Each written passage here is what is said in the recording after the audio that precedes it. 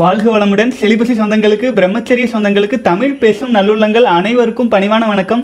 அன்பான இளைஞர்களை சகோதரர்களை இன்னைக்கு வந்து முப்பது நாள் சேலஞ்சில் வெற்றிகரமாக ஆறாவது நாள் வந்துட்டோம். ரொம்ப சந்தோஷமாக இருக்குது பல சகோதரர்கள் மன உறுதியோடு கடந்து வந்துட்டு இருக்கீங்க இந்த ஆறு நாள் ஏழு நாள் எட்டு நாள் எல்லாமே வந்து பார்த்தீங்கன்னா நம் உடலில் நாம் உண்ட உணவுகள் அந்த ஆறு ஏழு நாளாக வந்து பார்த்தீங்கன்னா நல்ல ஓரளவுக்கு வந்து உயிராற்றலை பெருக்குவதற்காக திரண்டு இருக்கும் காலகட்டம். ஆச்சுங்களா? அது குறிப்பாக ரொம்ப இளைஞர்களாக இருக்கிறவங்களுக்கு வந்து ஒரு ஆறு நாள் ஏழு நாள் அப்படிங்கிறது வந்து ஒரு ஓரளவு வந்து ஆற்றல் நிறைந்த காலகட்டமாக இருக்கும்.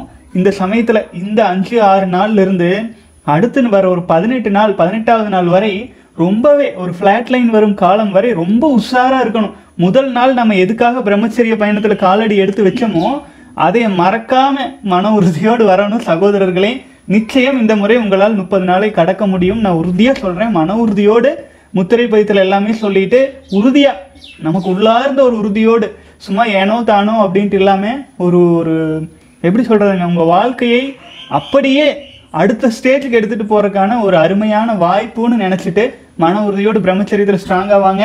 நானும் உங்களோடே பயணிச்சுட்டு வந்துட்டு இருக்கிற சகோதரர்களே இன்னைக்கு வேக வேகமாக பல சகோதரர்களின் கேள்விகள் இருக்குது மேலும் இறுதியில் நம்ம வீடியோக்கு இறுதியில் வந்து பார்த்தீங்கன்னா நம்ம சகோதரர் வந்து ஒரு வருடம் கடந்திருக்கிறாரு. அவர் சில டிப்ஸ் எல்லாம் கொடுத்துருக்காரு. ரொம்ப இன்ஃபர்மேட்டிவாக இருக்குது பல சகோதரர்களுக்கு உதவியாக இருக்கும். அது நம்ம வீடியோவின் முடிவில் ஆட் பண்ணுறோம் அதுவரை வேக வேகமாக இன்னைக்கு கேள்வி பதில் போயிடலாம்ங்க. ஏனென்றால் இன்னைக்கு சித்தர் பாடல் வந்து இன்னைக்கு இல்லை நாளைக்கு பார்த்துக்கலாம். இன்னைக்கு கேள்வி பதில் மற்றும் அனுபவ வீடியோ மற்றும் டிப்ஸோட இன்றைய தினத்தை நிறைவு செய்யலாங்க. வாழ்க வளமுடன். இன்னைக்கு வந்து பார்த்தீங்கன்னா நம்ம சகோதரர் உதயகுமார் வந்து ஒரு மெயில் போட்டிருந்தாரு. அதை நான் படிச்சிடுறேன். பிரகாஷ் அண்ணா என்னோட நேம் உதயகுமார் எனக்கு ஜூன் ஆறு. அதாவது இன்னைக்கு வந்து பிறந்த நாள். என்னோட லைஃப்பில் செலிபஸி ஃபாலோ பண்ணி எங்கள் அப்பா அம்மாவை நல்லா பார்த்துக்கணும். லைஃப்பில் சாதிக்கணும். ஸோ ப்ளஸ் பண்ணுங்க அண்ணா. நாளைக்கு வீடியோவில் சொன்னீங்கன்னா ரொம்ப சந்தோஷப்படுவேன் வாழ்க வளமுடன். சகோதரரே உங்கள் கேள்வி தான் முதல்ல படிக்கிறேன். இனிய பிறந்த நாள் நல்வாழ்த்துக்கள். ரொம்ப ரொம்ப ரொம்ப ரொம்ப சந்தோஷம். நீங்கள் இந்த பூமியில் உடல் எடுத்து உயிர் எடுத்து வந்திருக்கீங்க. இது ஒரு எப்படி சொல்லாங்க? இது வந்து நமக்கு கிடைத்த மிகப்பெரிய பாக்கியம். இந்த பிறப்பு அப்படிங்கிறது இந்த உயிருக்கு கிடைத்த பாக்கியம். நமக்கு வாகனம் கிடைச்சிருக்கு. அதை வந்து நல்லபடியாக மன உறுதியோடு பிரம்மச்சரியத்தில் ஃபாலோ பண்ணிட்டு வாங்க. நிச்சயமாக நல்ல உடல் நலம் நீண்ட ஆயுள் நிறை செல்வம் உயர் புகழ் மெய்ஞானம் எல்லாமே பெற்று ரொம்ப ஒரு மகிழ்ச்சியான வாழ்க்கை நீங்கள் வாழ்வீங்க அப்படின்னு எனக்கு முழு நம்பிக்கை இருக்குது வாழ்த்து சொல்லிக்கிறேன். கண்டிப்பாக பல சாதனைகளை நீங்கள் எட்டணும். டேஸ் கவுண்டிங் எவ்வளோன்னு தெரியல. சகோதரரே கண்டிப்பாக ஆயிரம் நாட்கள் பிரம்மச்சரியத்தில் உறுதியாக வாங்க. உங்கள் கூடவே நான் பயணிச்சுட்டு இருக்கேன். வாழ்க வளமுடன். அடுத்து நம்முடைய சகோதரர் வந்து முந்நூறு நாட்கள் கடந்திருக்காரு. அவர் சில விஷயங்கள் சொல்லியிருக்காரு பார்த்துடலாங்க ஆனால் I am celibate for nearly three hundred days so for this morning I don't have any thoughts running in my mind I cannot feel anything. And also emotionless but I am in the state of bliss ஆனந்தமாக இருக்கிறேன்.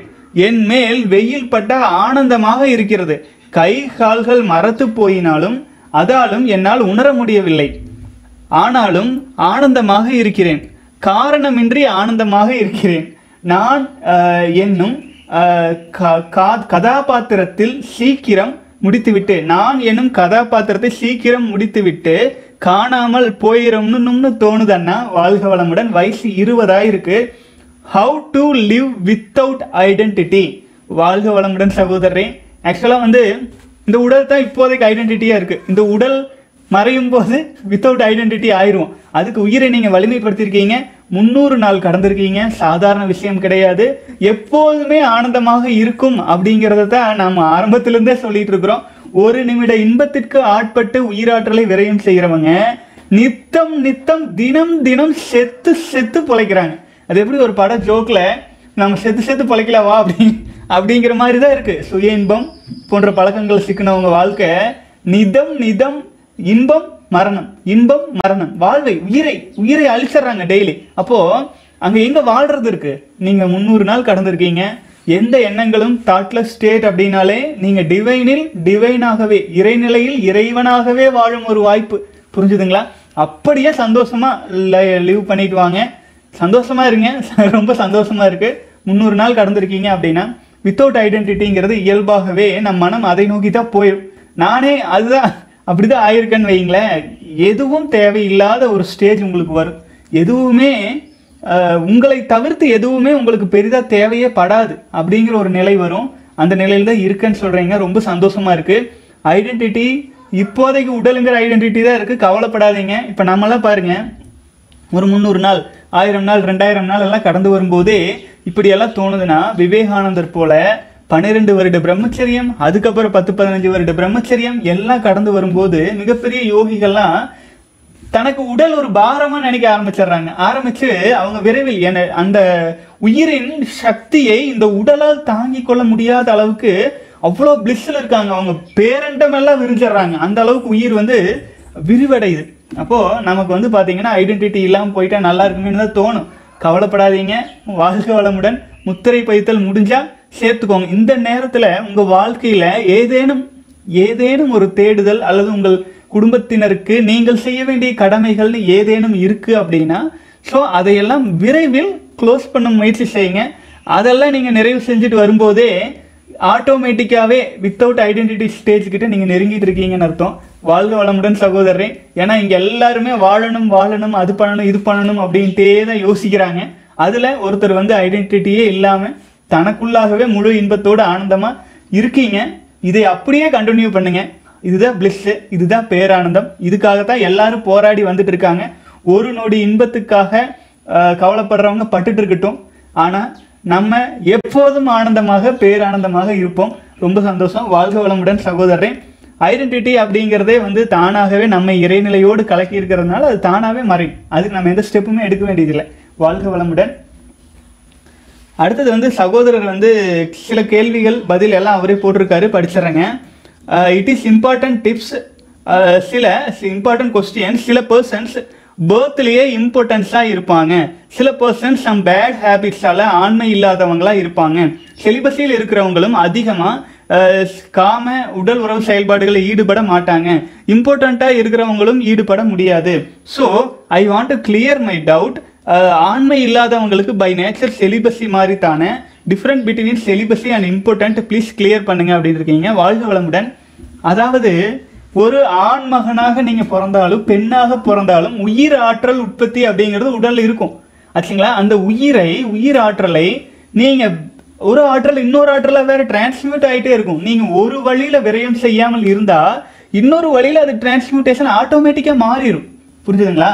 இப்போ வந்து யாருமே பிறக்கும்போது பெரும்பாலும் ninety nine point nine nine nine nine percent வந்து இயற்கை இம்பார்ட்டண்ட்டாலாம் படை படைக்காது. புரிஞ்சுதுங்களா? அப்படியெல்லாம் வந்து தவறான பழக்கங்கள்னால அப்படி ஆகுறது அதிகம். புரிஞ்சுதுங்களா? ரிமோட் கண்ட்ரோல் சின்னதாக இருக்குது அப்படிங்கிறதுக்காக அதில் பவர் இல்லாமல் போயிடாது புரிஞ்சுதுங்களா? சேனலில் மாறும். அதே மாதிரியே உங்கள் எந்த ஒரு ஆண்மகனும் ஆண்மகனாக பிறந்தால் இம்பார்ட்டன்ட் எல்லாம் கிடையாது. ஆச்சுங்களா? பழக்க வழக்கத்தால் தான் சிக்கியிருப்பாங்க. ஒருவேளை பிறவியில் அந்த மாதிரி இருந்தால் ஏதேனும் பாவப்பதிவுகள் காரணமாக இருக்கும். அவங்க அபரிமிதமான வலிமையை வேறு வேறு விதங்களில் அபரிமிதமான வலிமையாக இருப்பாங்க. ஆகவே வந்து பார்த்திங்கன்னா செலிபஸியில் இருந்தாலும் பிரம்மச்சரியத்தில் இயல்பாகவே உயிராற்றலை விரயம் செய்யாது வாழ்ந்தாலும் அவங்க எதில் கவனம் செலுத்துகிறாங்களோ அதில் வந்து அபரிமிதமான வலிமையோடு மாறிடுவாங்க. ஒரு ஆற்றல் இன்னொரு ஆற்றலாக டிரான்ஸ்மியூட்டேஷன் ஆகும். அது உயிராற்றல் விரயம் செய்யாமல் இருந்தால் நிச்சயமாக ஆயிட்டே தான் இருக்கும். அப்போது அது ஆகிற டிரான்ஸ்மியூட்டேஷன் ஆகிற ஆற்றலை வாழ்க்கையின் முன்னேற்றத்துக்கு பயன்படுத்தினாங்களா? இல்லை உடல் வலிமைக்கு பயன்படுத்தினாங்களா? எதுக்காக அதை செலவு செஞ்சாங்க? அப்படிங்கிறதுல தான் அவர்களின் வளர்ச்சி தாழ்ச்சி எல்லாமே இருக்குதுங்க. இப்போ இம்பார்ட்டண்ட்டாக பிறகையிலேயே அப்படி இருந்துட்டாங்கன்னா அவங்களுக்குள்ள அபரிமிதமான ஆற்றல் இருக்குதா சொல்லி நீங்கள் நிறைய பேர் பார்த்துருப்பீங்க. இந்த திருமங்கைகள் அப்படின்ட்டு ஆணாக இருப்பாங்க பிறந்திருப்பாங்க ஆனால் பெண்ணாக மாறின மாதிரி மாறி இருப்பாங்க அவங்களுக்கு வந்து ஒருவேளை அவங்க உயிராட்டில் எந்த விதத்துலையும் விரயம் செய்யறதுக்கு வாய்ப்பே இல்லாமல் ஆகிற சமயத்துலலாம் அவங்க எவ்வளோ போல்டாக இருப்பாங்க. நல்லா பார்த்துருக்கலாம். நீங்கள் பஸ் ஸ்டாண்டில் எங்கே வேணாலும் பார்த்தீங்கன்னா அவ்வளோ ஸ்ட்ராங்காக இருப்பாங்க. அவங்க முன்னாடி நின்று ஆண்களே பேச முடியாது. அந்த அளவுக்கு. ஜெய்ஜாண்டிக்காக ஸ்ட்ராங்காக ஃபேஸ் பண்ணுறதாகட்டும் எல்லாம் ஸ்ட்ராங்னஸ் எப்படி வருது? இயல்புலேயே வந்துருதுங்க. அது ஆற்றல் இன்னொரு ஆற்றலாக மாறுது. அவங்க எதுக்காக மாற்றி வச்சுருக்காங்களோ அதுக்கு தகுந்தாற் போல் மாறும். சமுதாயத்தை ஃபேஸ் பண்ணுறதுக்குனே மாத்தி அந்த மாதிரி ஆயிரும். இல்லை ஒருவேளை நான் வந்து ஒரு மிகப்பெரிய விஞ்ஞானியாக மாறணும் அப்படின்னு நினச்சிட்டு அந்த சிந்தனையிலேயே இருந்தால் ஆற்றல் அப்படியே அதில் போக ஆரம்பிச்சிருங்க ஆச்சுங்களா? வாழ்க வளமுடன். இல்லை விந்துஜயம் போன்ற பயிற்சிகள் மூலமாக ஆழமாக செஞ்சுட்டு இருக்கிறவங்க செலிபஸியில் இருக்கிறவங்க இறைநிலை தேடலோடு இருக்கும்போது நம்முடைய சக்தியை மட்டும் டிரான்ஸ்மிட் பண்ணாமல் எல்லாமே இறையாற்றல காஸ்மிக் எனர்ஜியையும் சேர்த்து இழுத்துக்கொண்டு நம்ம டிரான்ஸ்மிட் பண்ணும்போது வாழ்க்கையே மாறும். புரிஞ்சுதுங்களா? வாழ்க்கை வந்து நம்ம சக்தியில் மட்டுமே மாறாம பிரபஞ்ச ஆற்றலோடு இணைச்சு மாற்றும் போது சமுதாயத்திலேயே மாற்றம் ஏற்பட நம்ம ஒரு சிறு காரணமா இருக்கிறதுக்கும் வாய்ப்பு இருக்கும். ஆச்சுங்களா? வாழ்க வளமுடன் சகோதரர். இது பற்றி ரொம்ப நேரம் டிஸ்கஸ் பண்ணலாம். இருந்தாலும் அடுத்தடுத்த கேள்விகள் இருக்கிறனால நான் கடந்து போறேங்க. அடுத்து நம்ம சகோதரர் கேட்டிருக்காரு அண்ணா வணக்கம். நாற்பது டேஸ் சிலிபஸை ஃபாலோ பண்ணேன். லாக்டவுன்ல மிருகம் மாதிரி ஆயிட்டேன் அண்ணா. கைப்பழக்கம் மறுபடியும் பண்ண ஆரம்பிச்சிட்டேன்னா தப்புன்னு மூளை சொல்லுது. பட் எப்படியோ கைப்பழக்கம் பண்ணிடுறேன்னா தொடர்ந்து பண்ண ஆரம்பிச்சிட்டேன். எனக்கு பைத்தியமே பிடிக்கிற மாதிரி இருக்கு. எப்படி அண்ணா இதை விடுறது? செத்தே போயிடலாம் போல இருக்குன்னு ஓட்டிருக்கிறீங்க வாழ்க வளமுடன். நம்முடைய அடுத்த சகோதரரும் இது தொடர்பாக ஒரு பதில் போட்டிருக்காரு. ஆனால் பெயர் குறிப்பிட வேண்டாம். ஐ ஒன் வீக் முன்னாடி நைட் ஃபால் பற்றி கேட்டிருந்தேன். ஐம்பத்தி மூணு நாள் அப்போது டுடே வந்து ஐம்பத்தி ஒன்பதாவது நாள் நைட் ஃபால் ஆயிடுச்சு. என் நான் செஞ்ச தப்பு என்னன்னு கேட்டால் ஹாட் ஷவர் எடுத்துட்டேன். சுடுதண்ணியில் குடிச்சிட்டேன் நைட்டு லேட்டாக சாப்பாடு சாப்பிட்டேன். அப்புறம் வந்து எக்ஸசைஸோ மெடிடேஷனோ பண்ணாமல் விட்டுட்டேன். இதனால என்னால் வந்து பிரம்மச்சரியத்தில் கண்ட்ரோல் பண்ண முடியல. நைட் ஃபாலெல்லாம் வர ஆரம்பிச்சிருச்சு அப்படின்னு சொல்கிறாரு வாழ்க வளமுடன். இதுதான் ரீசனுங்க நம்முடைய டே டு டே லைஃபை நம்ம கண்ட்ரோலில் வச்சுக்காமல் இருந்தீங்கன்னு வைங்களேன் அது ஏதோ ஒரு ஒரு இடத்துல வந்து ஃப்ளோ ஆயிரும். புரிஞ்சுதுங்களா? நீங்கள் க கடலில் ஆற்றுல போட் ஓட்டிகிட்டு போகிறீங்க அப்போ அது வந்து நீங்கள் மெயின்டைனே பண்ணலீங்கன்னா ஏதோ ஒரு பக்கம் ஓட்டையாச்சுன்னா தண்ணி உள்ளே வந்துடும்ல ஆச்சுங்களா? நீங்கள் நீங்கள் மெயின்டைன் பண்ண வேண்டியது உங்களுடைய பொறுப்பல்ல உடலுங்கிறது என்ன? உடலுங்கிறதே நம்முடைய ஒரு ஓடம் போல தான் ஆச்சுங்களா? அப்போது இந்த உடலை நம்ம தான் மெயின்டைன் பண்ணணும். நம்ம வந்து அங்கங்கே உடல் ஆயிரம் ஓட்டைகள் உண்டு. எல்லாத்தையும் கண்ட்ரோல் பண்ணி உயிரை பாதுகாக்கும் போது தான் நமக்கு வந்து வெற்றி அப்படிங்கிறது கிடைக்கிறதுக்கு ஆரம்பிக்கும். வாழ்க வளமுடன். சகோதரர் சில கேள்விகள் கேட்டிருக்காரு. பார்த்துடலாங்க. அண்ணா செகண்ட் டைம் நைட் ஃபால் ஆகிருச்சு. ஏதாவது ப்ராப்ளமா டிரான்ஸ்மியூட்டேஷன் பண்ணாமல் இருந்தால் ப்ராப்ளமா அண்ணா நான் எப்போவுமே gym work out gym work out பண்ணுவேன் லாஸ்ட் ஒன் மந்த்தாக பண்ண முடியல பிகாஸ் ட்ராவலிங் ஷோ அதுக்கும் கனெக்ஷன் இருக்கா? ஃபஸ்ட்டு நைட்டு அப்புறம் நீங்கள் சொன்ன அதை சொன்னீங்க. நாற்பத்தி எட்டு நாள் அப்புறம் ஆச்சுன்னா பெருசாக எடுக்க வேணாம்னு. பட் செகண்ட் டைம் அதனால எனக்கு ஒரு கில்ட்டி ஃபீலிங் எவ்வளோ நாள் கஷ்டப்பட்டு இப்படி ஆச்சுன்னு. கிளாசிக் சிலிபஸில் ஜாயின் பண்ணலான்னு இருக்கேன்னா அண்ணா மன்னிக்கவும். நான் ரொம்ப பெருசாக கமெண்ட் பண்ணியிருக்கேன். ஓகே வாழ்க வளமுடன். சகோதரர் வந்து கேட்ட கேள்விகள் எல்லாமே டே டு டே ஒர்க் ஃப்ளோவில் பிரச்சனை வந்துச்சுன்னா இப்போ வந்து ஆறு மணிக்கு எந்திரிக்கிறேன்னா எந்திரிச்சிடுறீங்க. கோல்டு ஷவர் பண்ணிட்டு யோகம் தியானம் இதெல்லாம் பண்ணிட்டு ப்ராப்பராக நம்ம உடலையும் உயிரையும் மெயின்டைன் பண்ணிட்டு எந்த வேலை வேணுமோ அந்த வேலையை செஞ்சு முடிச்சுட்டு இல்லை உணவை இரு வேலை உணவு சாப்பிட்றீங்கன்னா காலையிலையோ அல்லது மதியமோ உணவை தள்ளி வச்சுட்டு நம் கடமையில் கவனம் செலுத்தி இரவாகும் போது மதியமாகும் போது முடிஞ்ச அளவுக்கு கோல்டு ஷவர் பண்ணிட்டு விந்துஜயம் பயிற்சி நேர நேரத்துக்கு செஞ்சுட்டு கரெக்டாக நம்ம வாழ்க்கையை எடுத்துகிட்டு போகும்போது இரவு உறக்கத்துக்கும் மாலையிலேயே உணவை சாப்பிட்டு ஒரு யோக பயிற்சி ஏதாச்சும் இருந்துச்சுன்னா அதை கூட மாலையில் செஞ்சுட்டு அதுக்கப்புறம் உணவு சாப்பிட்டு இது போல் நம்ம உட்காந்து யோசிக்கணும். நம்ம வாழ்க்கையை எப்படி ஸ்கெடியூல் பண்ணி கொண்டுட்டு போகலாம்? நம்முடைய ஆற்றல் எதுக்காக டிரான்ஸ்மியூட்டேஷன் ஆகணும்னு நம்ம முடிவு பண்ணணும். ஆச்சுங்களா? நீங்கள் ஒரு நிமிடம் இன்பத்துக்குள்ளே சிக்கிக்காமல் இருக்கணும்னா இருபத்தி மூன்றரை இருபத்தி மூணே முக்கால் மணி நேரம் ஒழுக்கமான வாழ்க்கை வாழணும். அந்த ஒழுக்க வாழ்க்கை ஒரு இடத்துல செதஞ்சு செதறினாலும் தவறிடுவோம் புரிஞ்சுதுங்களா? இது எல்லாம் நாற்பத்தெட்டு நாள் வரைக்கும் ரொம்ப ரொம்ப ஒரு ஒரு நாளும் உஷாரா ஆனால் ஆரம்பத்தில் தள்ளிடலாம். ஒரு மொபைல் ஃபோன் எடுக்கணும்னு தோணும் போதே ஓ இது நான் போனா சிக்கிடுவோம் அப்படின்ட்டு தூக்கி அந்த பக்கம் போட்டு உஷாராயிக்கணும். ஆச்சுங்களா? அப்பதான் எளிமையாக கடந்து வர முடியும். இதே போல் எந்தெந்த சூழல்கள் எல்லாம் நம்ம சிக்கியிருக்கிறோம் அப்படிங்கிறதெல்லாம் மைண்டில் நோட் பண்ணி வச்சுட்டு அந்த சூழல் துவங்கி வந்ததுக்கப்புறம் அட்ஜஸ்ட் வந்ததுக்கப்புறம் காப்பாற்றிக்கலாம்னு நினைக்காம அதுக்கான சூழல் துவங்கும் போதே உஷாராக இருந்து தப்பிச்சுக்கணும். ஆச்சுங்களா? ஒரு சாதாரண மனிதன் மிக சாதாரணமாக பன்னிரெண்டு வருட பிரம்மச்சரியத்தில் இருக்க முடியுங்க ஆச்சுங்களா? குறைஞ்சபட்சம் நான் சொல்றது. அப்படிதான் நமக்கு வாழ்க்கை முறையே இருந்திருக்கு. இப்போ ஒரு நாற்பது நாளில் ரொம்ப பயங்கரமாக ஆற்றல் வந்துருச்சு அப்படின்னா அது அப்போதைக்கு தான் அப்படி இருக்கும். ஒரு நாள் ரெண்டு நாள் நீங்கள் எப்படி ஆயினும் உங்களை நீங்கள் கண்ட்ரோலாக வச்சுக்கிட்டீங்கன்னா அதுக்கு தான் இந்த பயிற்சிகள் சொல்கிறது செல்ல ஏதேனும் தியானம் டிரான்ஸ்மியூட்டேஷன் ப்ராப்பராக ஏன்னா கீழ்நிலையில் இல்லாமல் மூலாதார சக்கரத்தில் அப்படியே தேங்கி நின்று அப்படியே வெடிச்சு போகிற அளவுக்கு ஏன் அப்படி இருக்கீங்க? நம்முடைய ஆற்றலை மேல்நிலையில் கொண்டு வந்துட்டீங்கன்னா மேலே ஒரு சக்கரத்திலேயே வச்சுட்டு சீரழிக்காம ஆறு ஏழு சக்கரங்கள் சும்மா தான் இருக்குது நம்ம நீங்கள் விந்துஜயம் பயிற்சியெல்லாம் பண்ணும்போது நேராக கொண்டுட்டு வந்து இங்கே நிறுத்திடுவீங்க சகசிரார தளத்தில். அப்போ அந்த அளவுக்கு நம்ம மேல்நிலை சக்கரங்களில் உயிராற்றலை கொண்டு வந்து நிறுத்தும் போது அதாவது அந்த ஆற்றில் ரெண்டு சக்தி இருக்குதுங்க. ரெண்டு பெண் நீங்கள் ஆண் ஆச்சுங்களா? ரெண்டு பெண் ஒன்று வெளியில் இருக்கிற பெண் இன்னொன்று உங்களுக்குள்ளாக இருக்கும் பெண். அவள் வாழையா சக்தியாக சகசிரார் தளத்தில் இருக்காங்க. அங்கே தான் உணர முடியும். அப்போது ரெண்டு இடத்துல நீங்கள் வீண் பண்ண முடியும். ஒன்று வாழ்க்கை துணையிடம் இனப்பெருக்க செயல்பாடுகள் மூலமாக விரயம் செய்யலாம். அபரிமிதமாக மூலாதார சக்கரத்தில் நிரம்பிச்சுனா. இல்லை இன்னொன்று நீங்கள் எடுத்து உங்களுக்குள்ளாக இருக்கும் சக்தியிடம் சேமிச்சுக்கலாம். உங்களுக்குள்ளாக நீங்கள் சேமிக்கும் போது என்ன ஆகுங்க? இங்கே இருக்கிற ஆனந்த சக்கரம் அப்படிங்கிற சகசிரார சக்கரம் வந்து ஆக்டிவேஷன் ஆயிரும். அப்படி ஆச்சுன்னா உடலில் இருக்கும் நோய் நொடிகள் எல்லாம் குணமாக ஆரம்பிச்சிடும் பல்வேறு குறைகள் குறைபாடுகள் எல்லாம் சரியாக ஆரம்பிச்சிடும் பயங்கரமாக வலிமையடைய ஆரம்பிச்சிருவீங்க. ஆச்சுங்களா? ஆகவே நீங்கள் வலிமையடைகிறது மட்டும் இல்லாமல் உங்கள் உயிராற்றல் டிரான்ஸ்மியூட்டேஷன் ஆகிறதுனால உணவின் தேவையே குறையும். ஆச்சுங்களா? அவ்வளோ சாப்பாடே தேவையில்லை. பல்வேறு மாற்றங்கள் உங்கள் வாழ்க்கையில் நடக்க துவங்குங்க. ஆனால் அதுக்கு நீங்கள் அதுக்கு தான் டிரான்ஸ்மியூட்டேஷன் பண்ணுங்க பண்ணுங்கன்னு சொல்கிறது சரியான பயிற்சி முறைகளை சரியான நேரத்தில் நம்ம செய்ய ஆரம்பிக்கும் போது பல பிரச்சனைகள்லேருந்து வெளியில் வந்துடலாம் நீங்கள் ஒரு ஆன்மீக பாடலை போட்டு மனம் மேல்நிலையில் இருக்கும்போது எல்லாமே பெரிய அளவில் சிக்கிக்க மாட்டோம். ஆனால் அட்ஜஸ்ட் வர்ற வரைக்கும் விட்டு போட்டு அப்புறம் போய் ஆன்மீக பாடலோ பயிற்சிகளோ செய்யும்போது மனசு வந்து இழுத்துட்ரும் ஏன்னா தண்ணி எதிர்நீச்சல் போடும்போது ரொம்ப கஷ்டம். அதன் போக்கிலே போகும்போது ஈஸி இப்போ என்ன ஆச்சுங்க நீங்கள் அதன் போக்கிலேயே போகிறக்க ஆரம்பிச்சிருவீங்க. அட்ஜஸ்ட் வர ஆரம்பிச்சிருச்சுன்னா. ஆனால் அது எதிர்நீச்சலுக்கான அலைகள் வர்றதுக்கு முன்னாடியே நீங்கள் வேக வேகமாக ஏர்லி க படம் ஓட்டிகிட்டு போயிட்டீங்கன்னா ஒரு பிரச்சனையும் இல்லை. மேல்நிலைக்கு எடுத்துடணும் ஆற்றலை. டிரான்ஸ்மியூட்டேஷன் பண்ணிடணும் நம்ம இவ்வளோ நாளாக சொல்லிட்டு இருக்கிற விஷயம் அதுதான். பயிற்சியில் இருக்கும் சகோதரர்களும் சில நேரம் வந்து பார்த்தீங்கன்னா சரியாக செய்யாமல் விட்டுறீங்க. பயிற்சியில் இல்லாத சகோதரர்கள் அதுக்கான வாய்ப்பு இல்லை. யோசிச்சுட்டே இருக்கீங்க. ஏதாச்சும் ஒன்று பண்ணுங்க. ஆச்சுங்களா? உங்கள் வாழ்க்கையை உங்கள் கண்ட்ரோலில் எடுத்துக்கொள்ளுங்கள் ஆச்சுங்களா? வாழ்க வளமுடன் சகோதரர்களே நம்ம குண்டலினி தாவம் முதல் கொண்டு எல்லாவற்றையும் பயிற்சியில் சேர்த்திட்டோம். ஒரே ஒரு முறை நீங்க வந்து சர்வருக்காகவும் ஏன்னா ஆயிரம் பேர் பயிற்சி எடுத்துட்டு இருக்காங்க. ஸோ அதற்காக வந்து பாத்தீங்கன்னா நம்ம மந்த்லி மந்த்லி அதை ரன் பண்றதுக்கான ஒரு சின்ன சப்போர்ட்டு ஆச்சுங்களா? அது மட்டும் நீங்க பண்ணி உள்ள வந்துட்டீங்கன்னா லைஃப் டைம் நீங்க ஃப்ரீ தான் ஆச்சுங்களா? இப்போ நீங்க பாட்டுக்கு பயிற்சி செஞ்சுட்டே இருக்கலாம். புது புது பயிற்சிகள் நம்ம ஆட் பண்ணிட்டே இருப்போம். சகோதரர்கள் அவர்களுக்குள்ளாக ஏற்படும் கஷ்டங்களை பொறுத்து பொறுத்து நம்ம அனலைஸ் பண்ணிட்டு புது பயிற்சிகள் சேர்த்துக்கிட்டே இருக்கிறோங்க ஆகவே பயன்படுத்தி கொள்ளுங்கள். இந்த காலகட்டத்தில் மாதிரி எந்த காலகட்டத்திலையுமே உங்கள் மொபைல் ஃபோன்லேயே வச்சு உங்களை வலிமைப்படுத்திக் கொள்ளும் வாய்ப்பு அமையல. இப்போ அமைஞ்சிருக்கு. பயன்படுத்திக்கோங்க. கண்ட கண்ட வீடியோஸ் எல்லாம் பார்த்துட்டு இருக்காதீங்க. பிரம்மச்சரியத்தில் ஸ்ட்ராங் இல்லாமல் என்னத்தை பண்ணாலும் ஒரு பிரயோஜனம் இல்லைங்கிறத முதல்ல உணருங்க. நீங்கள் பிரம்மச்சரியத்தில் ஸ்ட்ராங்காக இருக்கும்போது எந்த பயிற்சி செஞ்சீங்கன்னாலும் அது வந்து கைகூடி வரும். பிராப்தம் அடையும் வெற்றி கிடைக்கும். ஆச்சுங்களா? ஆகவே என்னதான் இருந்தாலும் பிரம்மச்சரியத்தில் ஸ்ட்ராங்காக இருக்கிறதுல உறுதியாக இருங்க. அதன் பிறகு நீங்கள் யார் பேசுறது வேணாலும் கேளுங்க. எல்லாமே உங்கள் வாழ்க்கைக்கு பயன்படும். கைகூடி வரும். அவங்க சொல்கிறதெல்லாம் உண்மையை நம்ப தோணும். நீங்கள் பிரம்மச்சரியத்தில் இல்லாமல் யார் சொன்னதை நீங்கள் ஃபாலோ பண்ணீங்கனாலும் வெறும் அறிவுக்கு விருந்து அடுத்த சுய இன்பம் பண்ணுற வரைக்கும்.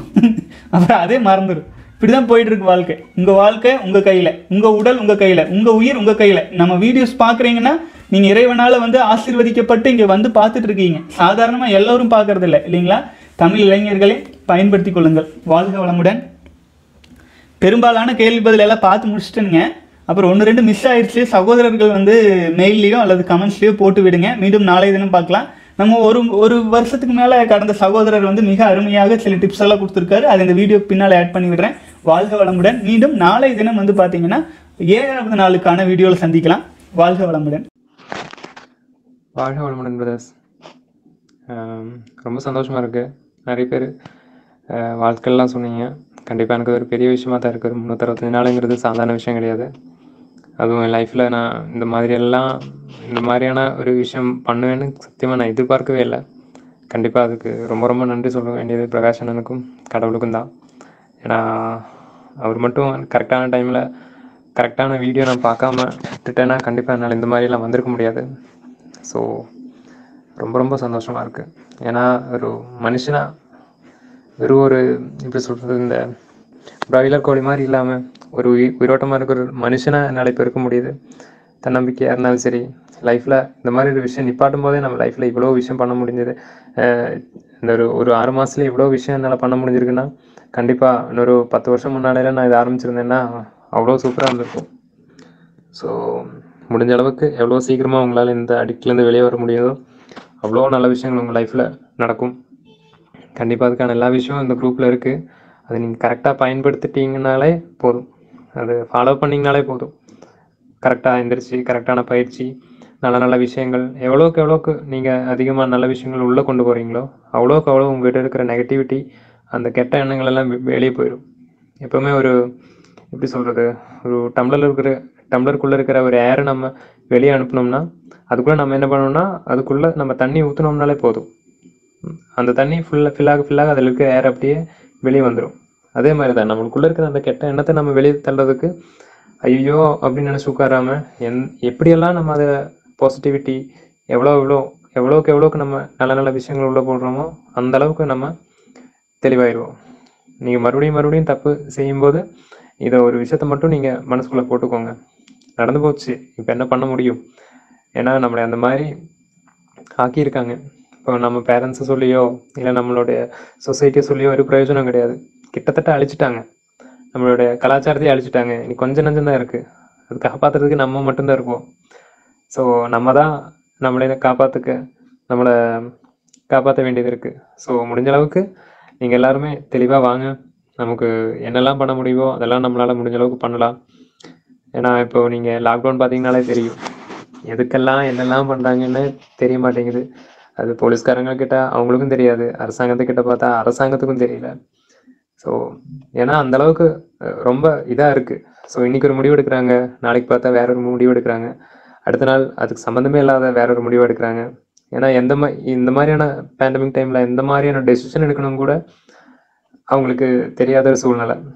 ஸோ ஏன்னா அந்த அளவுக்கு நம்மளுடைய படிப்பாக இருந்தாலும் சரி ஒரு அந்த யோசிக்க யோசிக்கிற திறனே இல்லாமல் இருக்கு. அப்போ இதுல இருந்தெல்லாம் நம்ம லைஃப் மாறணும் நம்மளுடைய சொசைட்டி மாறணும்னா நம்மள மாதிரி இருக்கிறவங்கெல்லாம் ரொம்ப தெளிவா இருக்கணும்.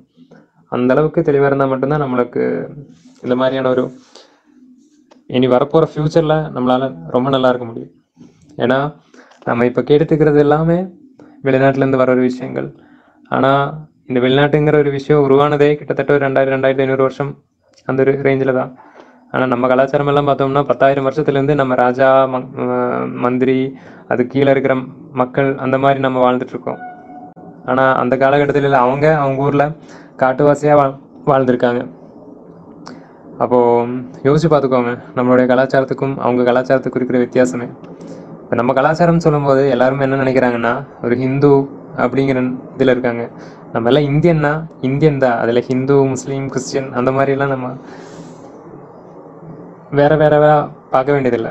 இந்தியன் அவ்வளோதான் இந்தியனுக்கு ஒரு கலாச்சாரம் இருக்குது இப்போ நிறைய பேர் என்ன நினைக்கிறாங்கன்னா இந்த கிறிஸ்துவ மேலே நம்ம ஊருக்குள்ளே வந்தது இங்கிலீஷ்காரங்க வந்ததுக்கப்புறம் தான் அப்படின்னு. ஆனால் இப்போ ரீசெண்டாக தான் நான் ஒரு விஷயம் பார்த்தேன். ஒரு புக்கில் ஒரு ஆராய்ச்சியாளர் எழுதியிருந்தார். ஆயிரத்தி தொள்ளாயிரத்தி ஆயிரத்தி நானூற்றி தொண்ணூத்தெட்டில் வாஸ்கோடகாமா இந்தியாவில் வந்த டைமில் அவர் இறங்குனதுமே பார்த்து ஆச்சரியப்பட்டது என்னென்னா நம்ம ஊருக்குள்ளே சிலுவையோட இது இருந்துச்சாமா? அப்போது நம்ம பார்க்க வேண்டிய விஷயம் என்னென்னா இங்கிலீஷ்காரங்கள்லாம் வரக்கு எத்தனையோ காலம் முன்னால் நம்ம ஊருக்குள்ளே எல்லா மதங்களுமே ஒரே மாதிரி இருந்திருக்கு. காலப்போக்கில் தான் அது அவங்களுடைய எப்படி சொல்கிறது அவங்க தவறாக அதை பயன்படுத்திட்டு நம்மளை வேற மாதிரி பிளான் பண்ணிட்டாங்க. ஸோ அதுக்கப்புறம் தான் நம்ம ஊருக்குள்ளே நிறைய பிரச்சனைகள் வர ஆரம்பிச்சிருக்கு. ஸோ நம்ம எல்லாம் காலங்காலமாகவே ரொம்ப ஒற்றுமையாக தான் இருந்திருக்கோம். இருந்தாலும் இந்த மாதிரி ஆயிட்டோம். சரி நான் உங்களுக்கு இன்னைக்கு இந்த டார்க் வெப்னு சொல்லிட்டு ஒரு விஷயம் இருக்கு. டார்க் வெப்னா நம்ம வெப்சைட்ல எல்லாம் நம்ம நெட்டெல்லாம் யூஸ் பண்றவங்க தானே நம்ம. அதுல ஒரு விஷயம் என்னன்னா நம்ம நார்மலா நம்ம இப்போ கூகுளில் போயிட்டு சர்ச் பண்றோம். அது நார்மலான ஒரு வெப் அதுக்கப்புறம் அடுத்த செஷன் என்னன்னா இந்த மிலிட்ரிஸோட ப்ரைவசி அப்புறம் பெரிய பெரிய கம்பெனிஸோட டேட்டாஸு இப்போ நம்மளுடைய டேட்டாஸே நம்ம எதில் எங்கேயாச்சும் இப்போ போனோம்னா சில இடத்துல என்ன பண்ணுவாங்கன்னா என்கிரிப்டடுன்னு சொல்லிட்டு அவங்க சேவ் பண்ணி வச்சுருப்பாங்க. அது நம்மளால் பார்க்க முடியாது. ஆனால் கூகுளில் நம்ம போயிட்டு நம்ம என்ன போய் பார்த்தாலும் நம்மளுக்கு பார்க்க வேண்டிய விஷயங்கள் எல்லாமே பார்க்கலாம். ஆனால் இந்த மாதிரி என்கிரிப்டட் பண்ண விஷயங்கள் எல்லாம் எதுவுமே நம்மளால் பார்க்க முடியாது. இந்த ரெண்டு செஷனுமே கிட்டத்தட்ட ஒரு டுவெண்ட்டி பர்சன்டேஜில் முடிஞ்சிடும் ஆனால் மூணாவது ஒரு பார்ட் இருக்கு. நம்ம இன்டர்நெட் அந்த உலகத்தில். அதுதான் டார்க் வெப்னு சொல்லுவாங்க. இந்த டார்க் வெப்னா இல்லீகலான எல்லா விஷயமுமே நம்ம அங்கே பார்க்க முடியும். இப்போ இதை பற்றிலாம் நான் எதுக்கு உங்ககிட்ட சொல்கிறேன்னா நீங்கள் ஏதாச்சும் ஒரு தப்பான வீடியோஸ் எல்லாம் இருக்கிற ஒரு சைட்டில் நீங்கள் போனீங்கன்னா அங்கே நீங்கள் மேலே பார்த்தீங்கன்னா அந்த டேஷ்போர்டில் அட்ரஸ் பார் இருக்கு இல்லையா? அந்த அட்ரஸ் பாரில் டபிள்யூ டபிள்யூ டாட் இன்ன website dot com dot in இந்த மாதிரியெல்லாம் இல்லாமல் வேற மாதிரியான ஏதாச்சும் ஒரு டாட் அப்புறம் வர இது இருந்துச்சுன்னா கண்டிப்பாக அது டார்க் வெப்போட வெப்சைட்டுன்னு அர்த்தம். அந்த டார்க் வெப்போட வெப்சைட்டுக்குள்ளே நம்ம போயிட்டோம்னா அவங்க நம்ம கிட்ட இருந்து என்ன வேணாலும் எடுத்துக்கலாம். என்ன வேணும்னா நம்ம மொபைல் இருக்கிற எல்லா டேட்டாஸுமே எடுத்துக்கலாம். ஸோ நம்ம நீங்கள் ஏதாச்சும் ஒரு வீடியோ கிளிக் பண்ணி அந்த கொஞ்சம் நேரத்தில் உங்களுக்கு போஸ் ஆகும்ல? போஸ் மீன்ஸ் ஏதாச்சும் ஒரு ஆடு வர மாதிரி இல்லைன்னா நம்பர் வரும் ஒன் டூ ஃபிஃப்டீன் செகண்ட்ஸு அந்த மாதிரிலாம் வரும்போது அங்கே நம்ம மொபைலுக்குள்ளே என்ன நடக்குதுன்னா அவங்களுக்கு தேவையான விஷயத்த நம்ம சிஸ்டத்தில் இன்ஸ்டால் பண்ணிடுவாங்க. திடீர்னு மொபைல் ரொம்ப ஹீட் ஆயிரும். சார்ஜ் ஏறாது சார்ஜ் நிற்காது அதே மாதிரி அவங்களுக்கு இன்னொரு யூஸ் என்னன்னா நம்ம உலகத்திலேயே ரொம்ப சீப்பாக நெட்டு கிடைக்கிறது இந்தியாவில் தான் ஆனால் அந்த நெட்டை அவங்களுக்கு இந்த மாதிரியான சைட்லலாம் நம்ம போய் நம்ம யூஸ் பண்ணும்போது அவங்களுக்கு எடுக்கிறதுக்கான வாய்ப்புகள் இருக்குன்னு சொல்கிறாங்க ஸோ இந்த மாதிரி தப்பான வெப்சைட்டுக்குள்ளே நம்ம போகும்போது கூட ரொம்ப கவனமாக நம்ம போக வேண்டியதாக இருக்குது அதே மாதிரி நம்ம ப்ரைவசியான நிறைய விஷயங்கள். ஒருவேளை நம்ம இப்போ இந்த மாதிரியான ஒரு அடிக்கில் இருக்கோம். ஒருவேளை நாளைக்கு நம்ம திருந்திட்டோம்னு வச்சுக்கோங்களேன் நம்ம ஒரு வீடியோ பார்க்கும்போது கூட அவங்களால நம்மளுடைய கேமராஸை கண்ட்ரோல் பண்ண முடியும். ஃப்ரண்ட் கேமரா ஓப்பன் பண்ணுறது பேக் கேமரா ஓப்பன் பண்ணுறது அதில் இருக்கிற ஸ்க்ரீ ஸ்க்ரீன் ரெக்கார்ட் பண்ணுறது இந்த மாதிரி நிறைய விஷயங்கள் நடக்குது. ஸோ இதை பற்றிலாம் நம்ம ரொம்ப அவேராக இருக்கணும். நம்ம எந்த அளவுக்கு அவேராக இருக்கிறோமோ அந்த அளவுக்கு நம்ம இதுலேருந்து தப்பிச்சுக்கலாம். ஸோ அதனால் இந்த மாதிரி வெப்சைட்ஸ் எல்லாம் போய் நீங்கள் எந்த மாதிரி எந்த மாதிரியான இதெல்லாம் பண்ணுறீங்களோ இந்த மாதிரியான விஷயங்களை நீங்கள் மனசில் நினச்சி பண்ணிக்கோங்க. யாருமே இல்லை நான் மட்டும்தான் இருக்கேன் அப்படின்னு நினச்சிட்டுலாம் நீங்கள் இந்த மாதிரியான தவறுகள் செய்யும்போது ரொம்ப ரொம்ப கவனமாக இருக்கணும். அப்புறம் அப்புறம் அந்த அந்த ஒரு விஷயம் அவ்வளோதான் அதுக்கப்புறம் நம்ம நம்மளையெல்லாம் எக்ஸ்பெரிமெண்ட் பண்ணுறாங்கல்ல இப்போ நம்மளுக்கு ஒரு மாத்திரை கொடுக்குறதா இருந்துச்சுன்னா அவங்க என்ன பண்ணுவாங்கன்னா முதல்ல எலிக்கு குத்தி பார்ப்பாங்க. இல்லைன்னா குரங்குக்கு குத்தி பார்ப்பாங்க. அதுக்கப்புறம் அது ஓகே ஆயிடுச்சுன்னா தான் நம்மளுக்கு குத்தி பார்ப்பாங்க. நம்ம உண்மையாலுமே நம்ம பார்க்க வேண்டிய விஷயம் என்னென்னா ஒரு எலிக்கு குத்தும்போது அதோட மரபணும் என்னன்னு நம்மளுக்கு தெரியும். ஏன்னா எலிங்கிறது அந்த மாதிரி தான். ஆனால் மனுஷனுங்கிறது அந்த மாதிரி இல்லை. ஸோ மனுஷனுக்குள்ளே இந்த மாதிரி குத்தி வைக்கிறதுக்கு எந்த அரசாங்கமுமே ஒத்துக்காது. ஆனால் இந்த குரங்குலையும் இதில் எல்லாம் குத்தி வச்ச அந்த மருந்து தான் நம்மளுக்கு குத்தி வைப்பாங்க. ஸோ அப்போது இந்த மாதிரியான விஷயங்கள் நம்ம சாப்பிட்ற ஃபுட்டு டேப்லெட்டு இதெல்லாமே ரொம்ப கெடுதலான விஷயம்னு நம்மளுக்கு தெரியும். அரசாங்கத்துக்கு தெரியும். டேப்லெட் செய்கிறவங்களுக்கும் தெரியும். இருந்தாலும் நம்ம இதெல்லாம் ஃபாலோ பண்ணிகிட்ருக்கோம் ஆனால் நம்ம பிரம்மச்சரியத்தில் இல்லை நம்ம வேறு ஏதாச்சும் ஒரு இந்த மாதிரியெல்லாம் இருக்கும்போது கண்டிப்பாக நம்மளுக்கு நோய் நொடியெல்லாம் வரும். ஸோ அதுலேருந்தெல்லாம் நம்ம காப்பாற்றிக்கிறதுக்கு ரெண்டே ரெண்டு விஷயம் தான் இருக்குது பிரம்மச்சரியம் கரெக்டாக ஃபாலோ பண்ணுறது கரெக்டான ஃபுட் எடுக்கிறது கரெக்டாக நம்ம உடம்ப இது பண்ணுற மாதிரி எக்ஸசைஸ் இதெல்லாம் பண்ணுறது மெடிடேஷன் யோகா இதெல்லாம் மறக்காமல் டெய்லி பண்ணுங்க. முடிஞ்ச அளவுக்கு ஃபாஸ்ட்டாக எல்லோரும் ரெக்கவர் ஆகி வாங்க. நிறைய விஷயங்களை பற்றி நம்ம டிஸ்கஸ் பண்ணலாம். லைஃபுக்கு தேவையான எல்லா விஷயத்தையுமே நம்ம இங்கேருந்து கற்றுக்கிட்டு நிறைய பேருக்கு நம்ம சொல்லிக் கொடுக்கலாம். ஓகே வாழ்க வளமுடன்.